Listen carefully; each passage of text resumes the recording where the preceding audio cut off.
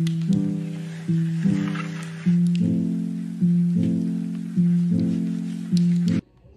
I'm no Mask and today we're going to be watching 20 games that trolled YouTubers. And this is by T5G. The original video will be in the description box below. Please comment what you want me to next, and let's see this video that trolled the games that trolled YouTubers.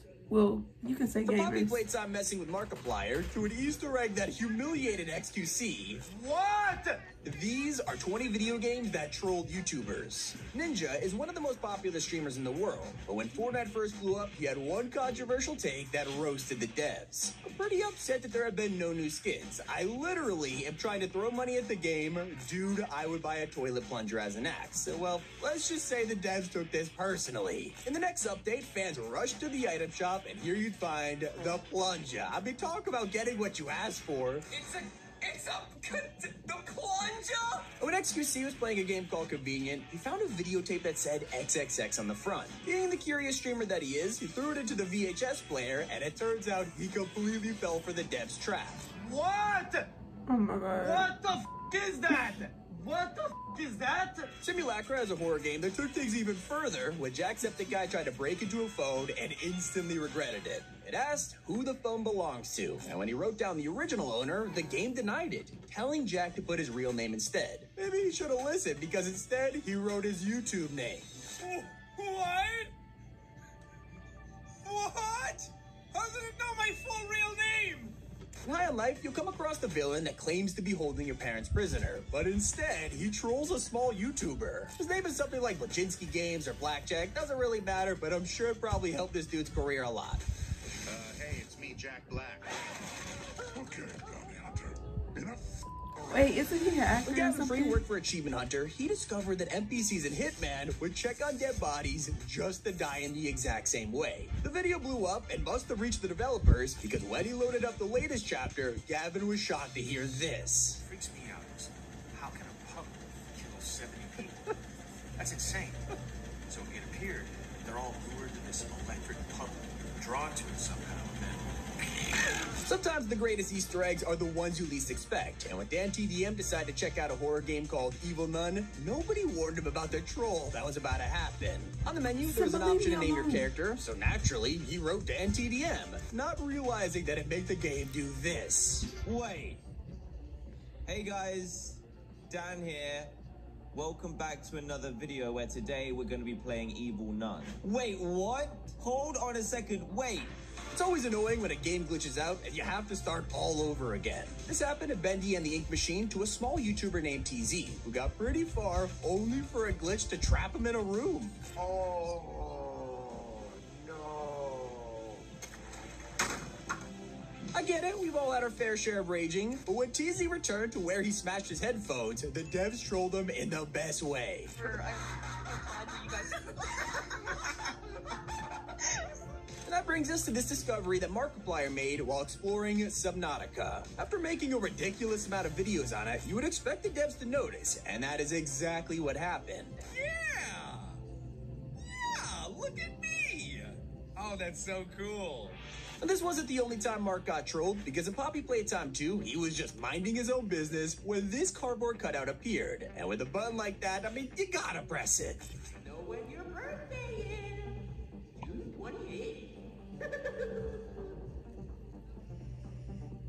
Okay. All right. Well, I'm assuming that you just Googled that because that's pretty public information. One thing that always makes me laugh is when a game straight up roasts YouTubers, and that's what happens in a cave midway through The Witcher 3. Here you'll come across a couple trolls who talk to each other with the weirdest dialogue. Clap.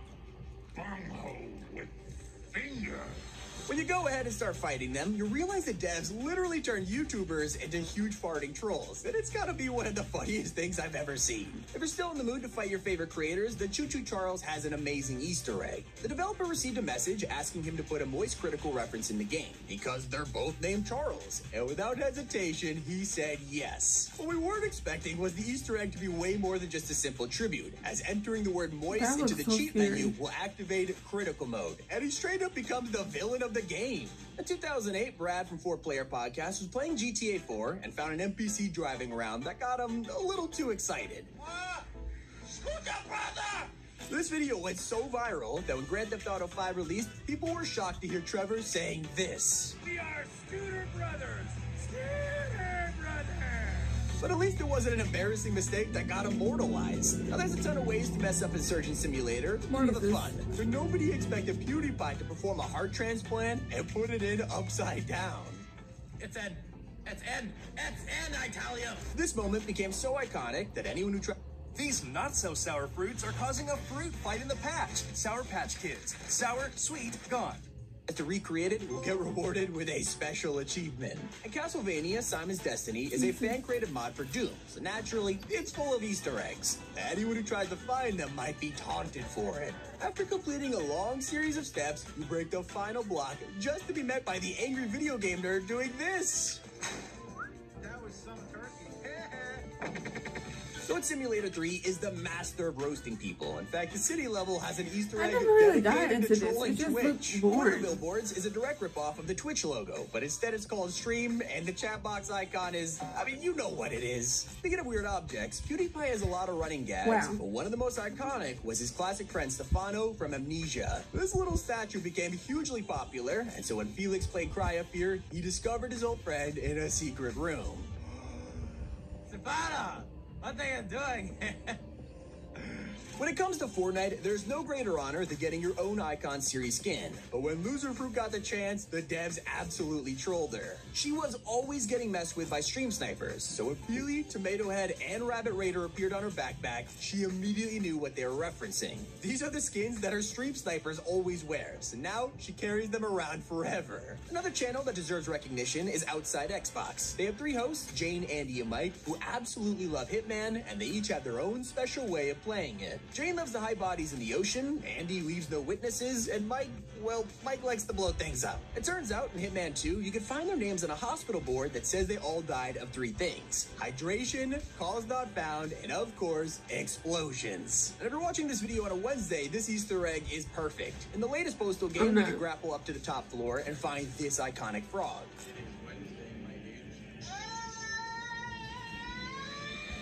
Without even starting the Easter egg, most people could tell what this is. And if you don't, activating the frog plays a familiar sound from the YouTuber Jimmy here. It is Wednesday, my dudes. We know where it's from, child.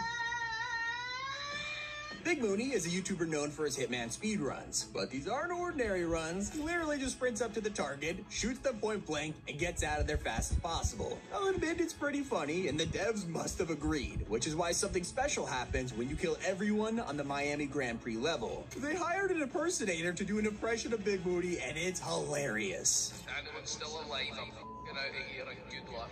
Even if you don't watch Jerma985, it's hard to deny that this man's face is everywhere. He's No, adored I've by his community, and that's why it's no surprise to find a small cameo in Garry's Mod that freaks people out. In the map GM Golden City, you can find this creepy red room with a button. Pressing it makes some weird noises, but it's not until you go outside that the sky has Ooh. completely changed. The clouds are now filled with the face of Jerma, and anyone who doesn't know him is definitely not sleeping tonight. As my 20 YouTubers troll by video games, hope you all enjoy and that's it for um